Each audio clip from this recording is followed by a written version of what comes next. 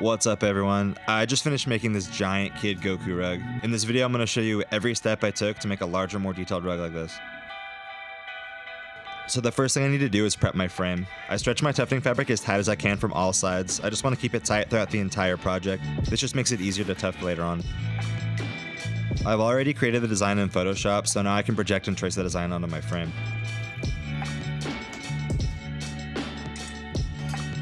I like to start with the outline. After I load the cut machine, I'll tuft over the lines that I've traced out.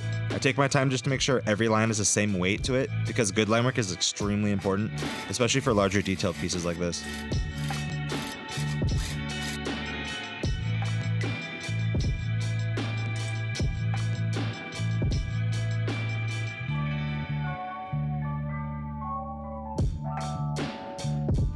Now I can start filling in all the colors one by one and bring Kid Goku to life.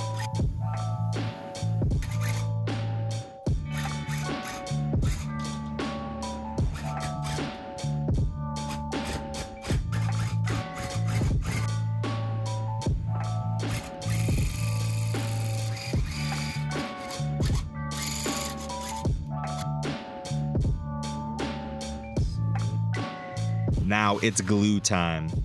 This carpet adhesive keeps all the yarn in the tufting fabric. I spread a generous amount with the spatula over the entire rug. I make sure to go a couple inches past the edges to help with the backing process. I use a high-tack glue which will come in handy later on.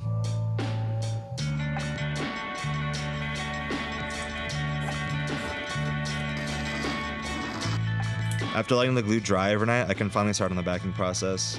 Uh, I'm just going to cut slits around the border and fold over all the edges. This is where the tacky glue comes in handy. It's a lot easier to do waterfall edging. So ignoring how messy my studio is, I'll pre-cut and lay down a piece of non-slip backing onto the rug. I like to hot glue one side of the non-slip to keep it in place while I spray adhesive on both sides to attach the back. For something this large, I like to do it in sections, this way I don't get glue on the rug when it's curling over.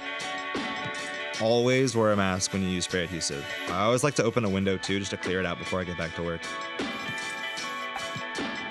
I like to hand roll this baby out on all parts just to make sure the backing comes into contact with the bottom of the rug.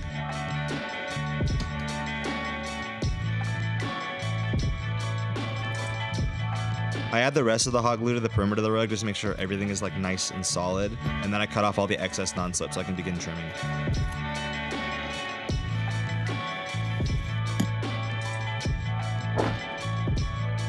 This heavy and expensive machine is a weighted trimmer that levels out the surface of the rug.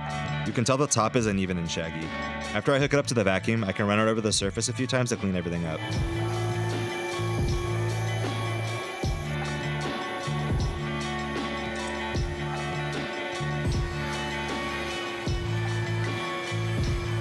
The lines are looking pretty rough, but I have the tools to fix that. I use a bent pair of surgical tweezers to separate the colors throughout the whole design.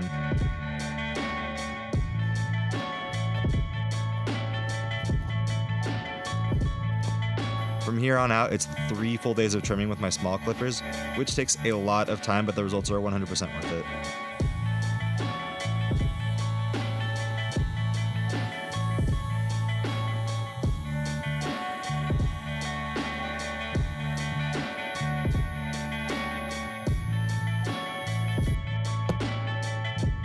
Last step, and one of the most important, sign your piece.